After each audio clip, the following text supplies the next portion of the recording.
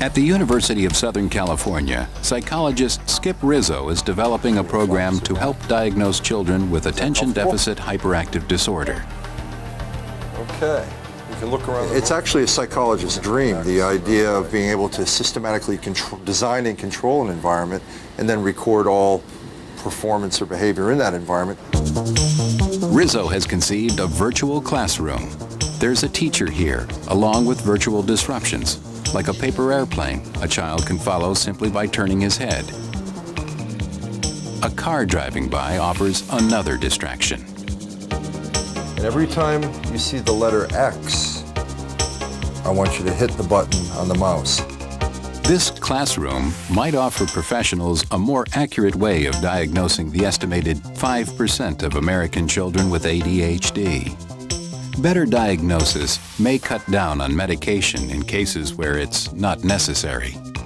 The primary treatment is pharmacological, um, using Ritalin and other forms of stimulant medication. And so there's been a lot of concern that are we really diagnosing the disorder properly? And uh, one of the easiest methods that are used, but not often the best, is where um, a professional will sit with a behavioral checklist and ask the parents, does he do this, does he do that? Oh, here you got 18 out of 20, here's your Ritalin or here's your diagnosis.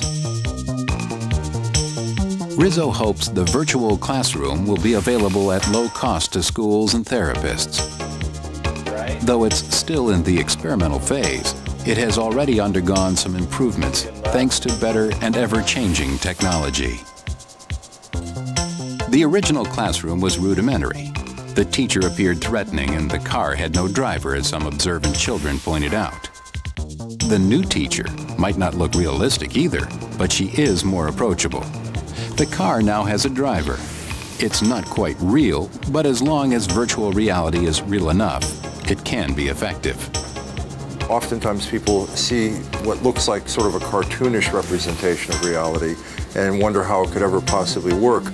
But the human brain has a tremendous capacity to suspend disbelief in things that come close to reality and you become involved. To actually recreate an exact replica of reality isn't necessarily essential for the reality to have some useful purpose.